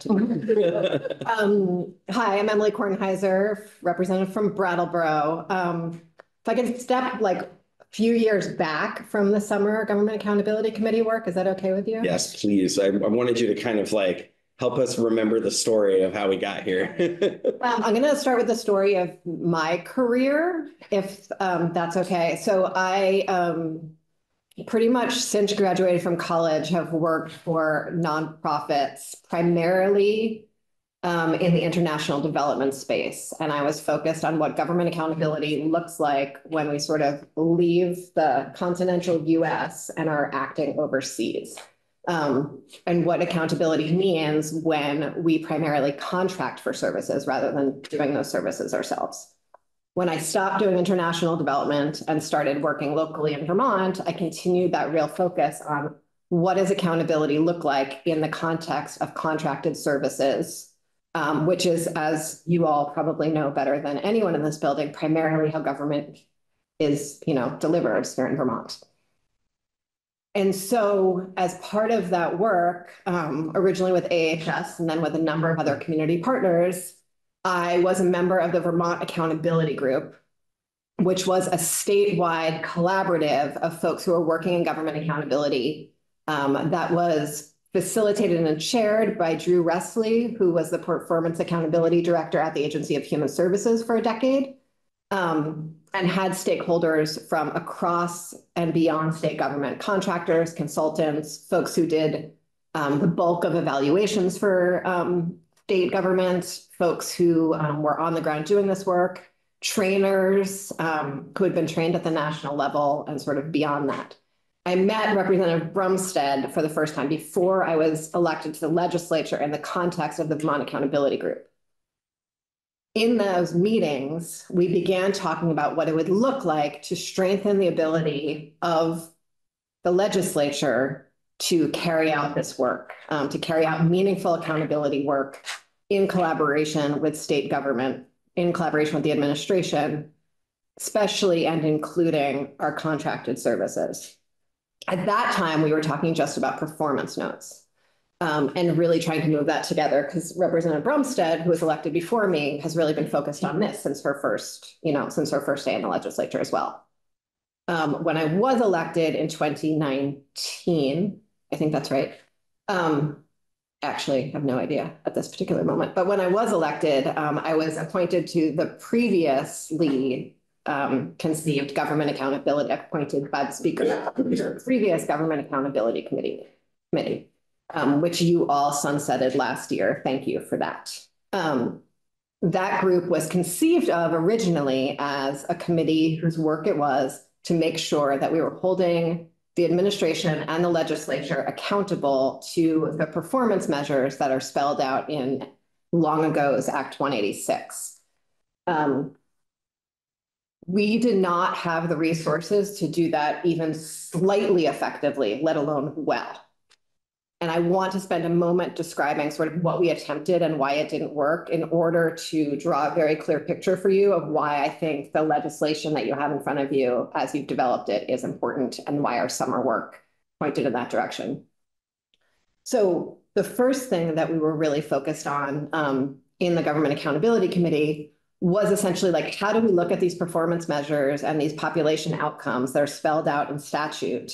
And how do we understand what is happening like in the real world as regards to these population outcomes? Like we say we want all vermonters to be healthier all children to be safe. But like what does it actually mean in terms of how we do government?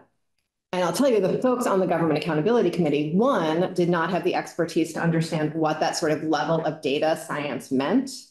Um, and two, did not have the time or the bandwidth to dive in to how specific performance or programs or spending lined up with those big picture population outcomes.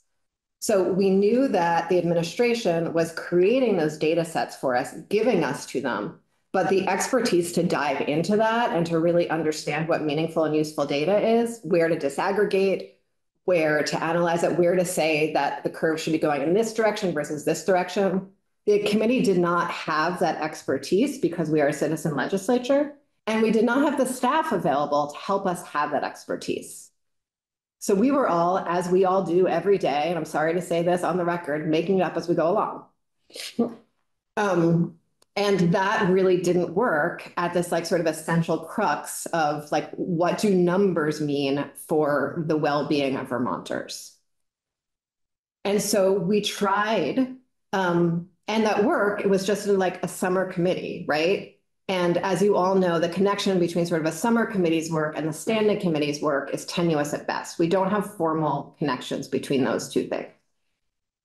And so what we then tried to do is say, actually, the meaningful work of government accountability needs to happen at the committee level, right? Our Human Services Committee needs to dive in and say, okay, we set this childcare bill forward in statute is it actually making a difference for Vermonters? If it's not making a difference for Vermonters, is it not making a difference for Vermonters because we're not administering it well, because we're not spending what we said we were going to spend, or because our whole idea was really dumb to start with, right? And those are sort of the three ways that you fall short when you're achieving outcomes. It's like your original theory of change didn't work. You didn't actually, or you didn't actually carry out your theory of change, which could be sort of like personnel and systems, or it could be not fully funding an idea.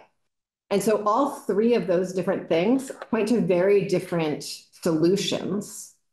But our standing committees did not have the expertise to dive into sort of those three very separate questions, which are sometimes described as how much are we doing, how well are we doing, is anyone better off? but you can just describe it in like the regular plain language way I did before. And so we tried to do trainings for the whole General Assembly. And we had, um, I conducted the training with Drew Wesley, who is an actually internationally acclaimed and qualified trainer on performance accountability.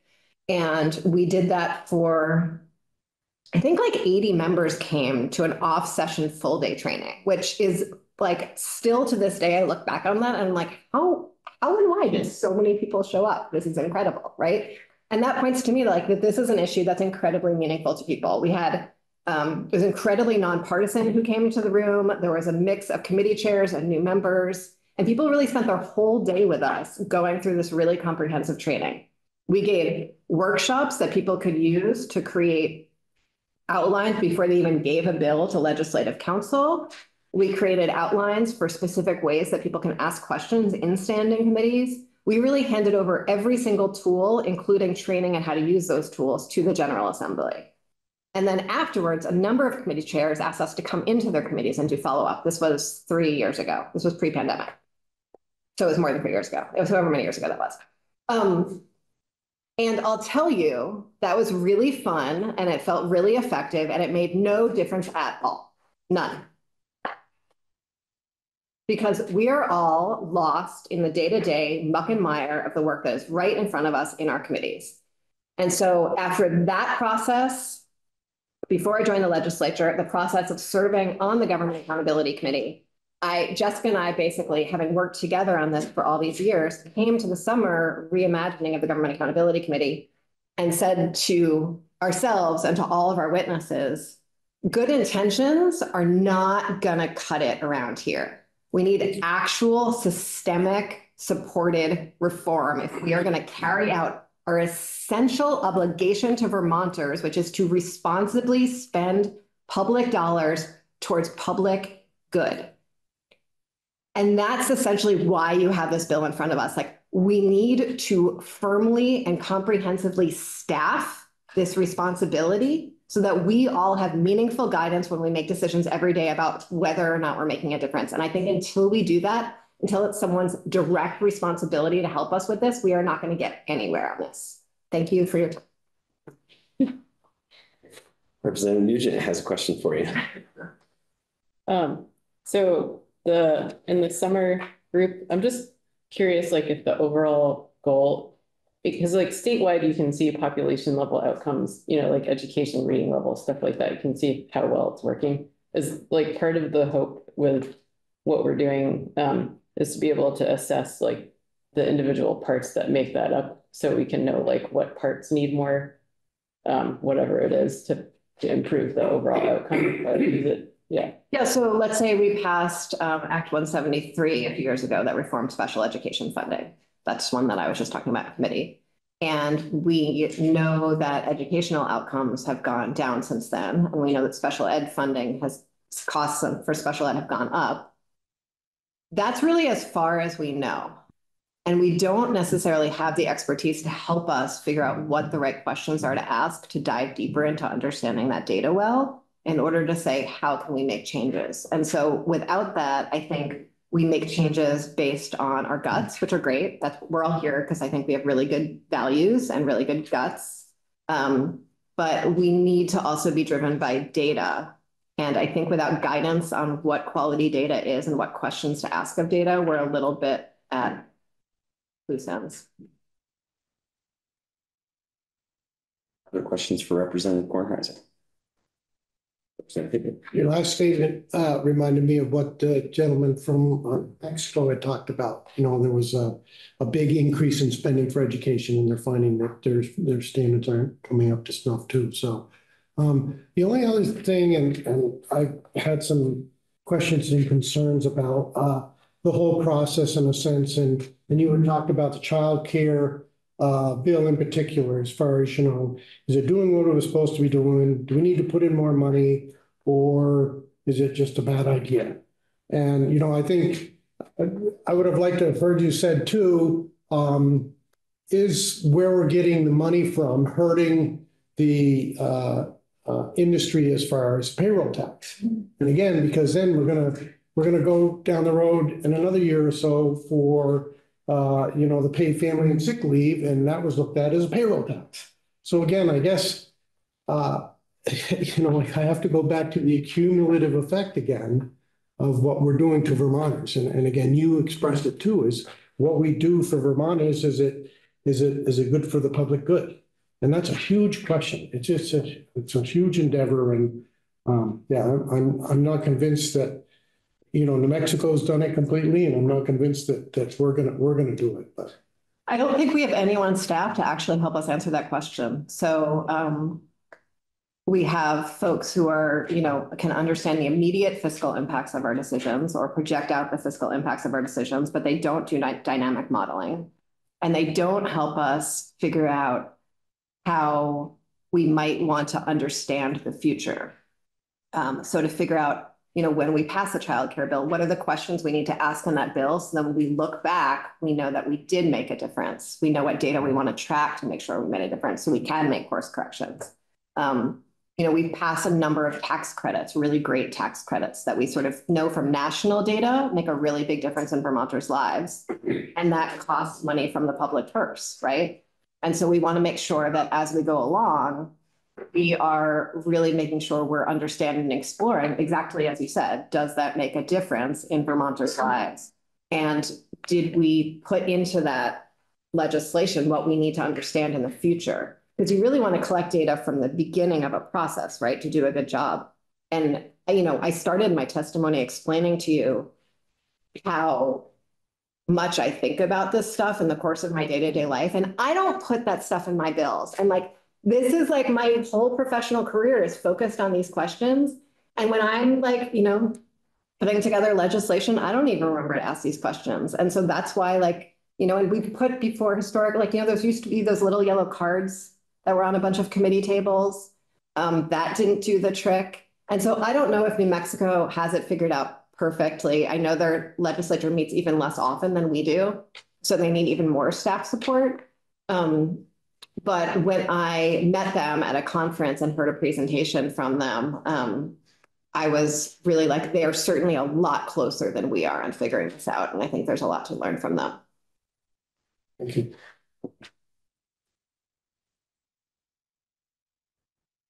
Economist. Um, I think in, if you look at the deck that Mr. Sallee gave us, they've got three buckets of staff that are related to this. Uh, and it's pretty comprehensive. And I mean, they're not, what's the scale of New Mexico is essentially by population and budget, like three times-ish Vermont size. So it's not totally out of the realm. You know, they're still a relatively small state. And I think what they do, they, you know, they're doing comprehensively in a way that would be a lot to jump into for us. But all, you know, in our work over the summer, it became clear that almost every other state has someone within their legislature that does something like this, right? The federal government has the GAO, the Government Accountability Office. Um, but there are much smaller scale versions of this in almost every state. And it goes beyond, you know, you don't need a full scale economist. You need someone who is practiced in performance and population accountability.